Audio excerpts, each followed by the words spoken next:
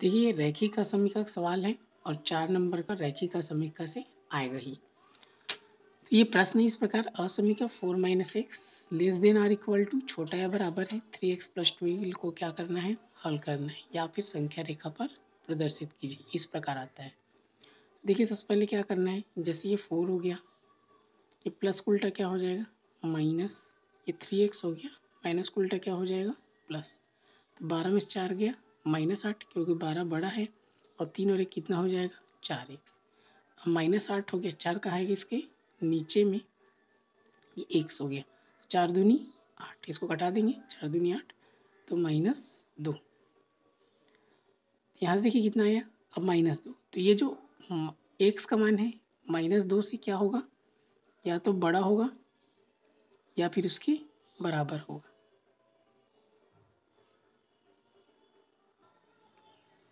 देखिए इसका मतलब है, देखिए एक्स क्या है, बड़ा है या बराबर है माइनस दो के तो इसको इस प्रकार लिखना कोई भी वास्तविक संख्या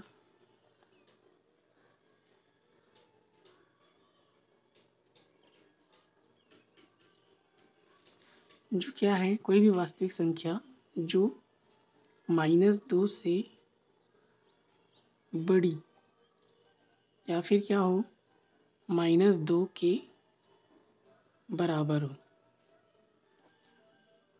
क्या होगा? असमीका का हल होगा।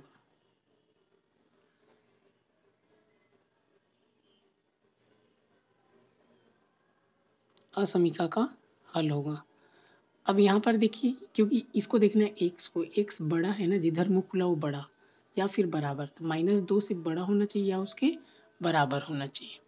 तो इस प्रकार इसको आप दर्शा सकते हैं। तो माइनस दो तो संख्या रेखा में इस प्रकार इसको दर्शा सकते हैं। ऐसे ये शून्य हो जाएगा।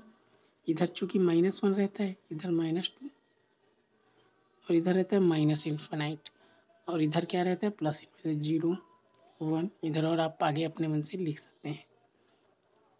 इधर क्या होता है? प्लस इन्फानाइट तो क्या करना है आपको? माइनस दो में ऐसे बिंदु कर देना ये इधर आएगा ना, इधर आएगा ये।